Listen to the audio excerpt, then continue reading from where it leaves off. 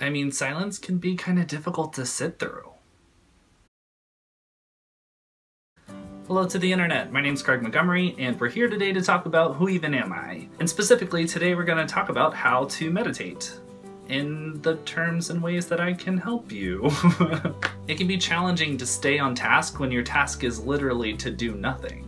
But it's an exercise just like any other, and the benefits are very real. The science is pretty young around what meditation does to us, but there's already measurable changes to the anatomy of the brain when you incorporate meditation into your life. So the hipsters hanging outside your local yoga place are probably not just tripping over inflated egos. They might actually be experiencing a significant difference in the way they experience their life. Most noticeably, meditation is extremely useful in helping to reduce stress and anxiety. It's also common for people to feel more compassionate and open-minded as they grow their practice. And the effect it has on the brain Studies have shown that it increases the size of gray matter in parts of the brain that affect memory storage, and executive decision making in people in the study who meditated for a period of three months. There are quite a few studies, but I found one reported on by the Washington Post from a couple years ago that explained it in layman's terms for those of us who are a little not academically inclined, and I will link below for that. So, meditation, good. But how do we stay on focus when it's just really difficult to sit still sometimes? The first and most important answer is dedication. It takes practice to sit still and do the mental work. Then I would suggest thinking about the peace of mind that you want to achieve or the stress relief that you would like to experience, or the problem that you can't stop worrying about, and think of meditation as the work you can do to get to that place having it as a sense of reward can make it feel like the work that you're doing is effective even when you feel like you're not doing very much. Because that happens a lot with meditation.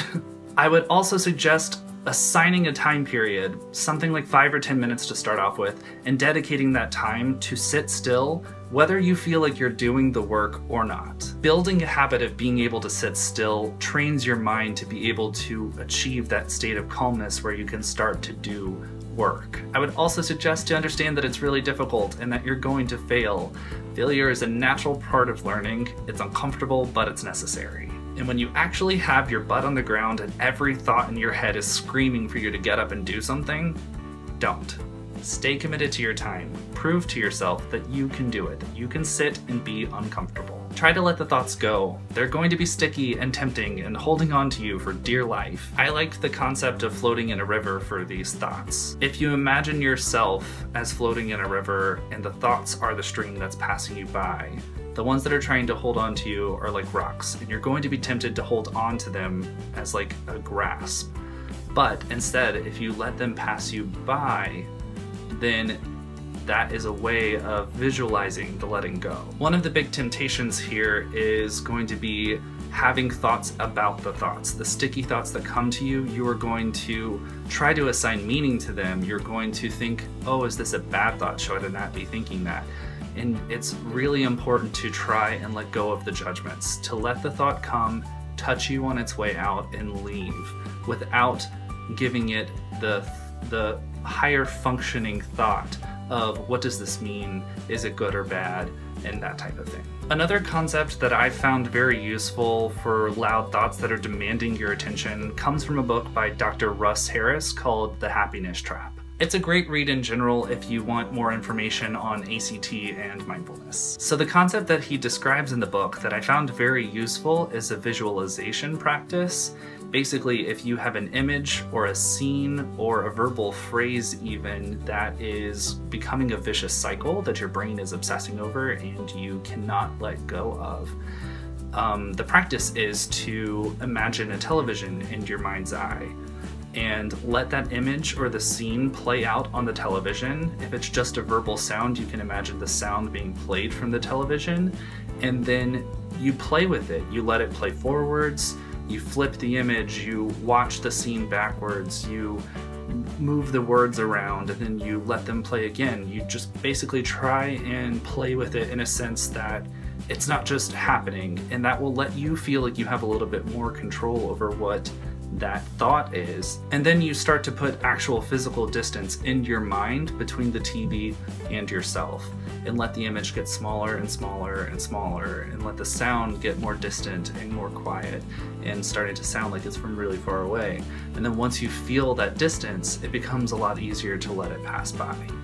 And you may have to repeat this process with a specific thought if it's really bothersome, but over time it really should help you let it go more easily because you'll you'll stop feeling its hold on you. There are a lot of different mental practices like this out there. These are just a couple that have been very effective for me. So it might take some researching on your part to find the things that really work for you.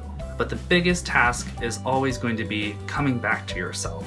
Every time your thoughts try and pull you away, you have to recommit to coming back to the silence. Staying in that state of calm as best as you can for the time period that you've assigned for yourself, and it gets easier and easier over time. I would say even to the point where it becomes enjoyable, you look forward to having that stillness because it, it recharges you and gives you energy to go out and do the other things in your life. It's not easy, but I really do believe that it can do great things for you.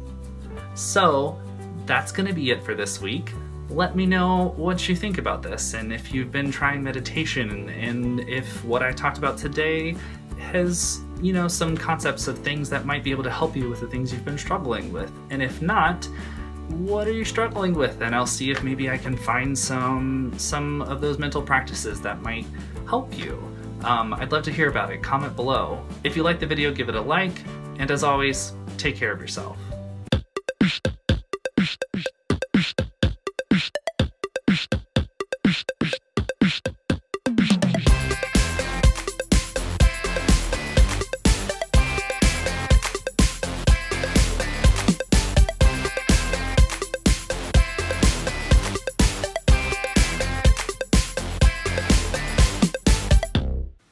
Okay, bye.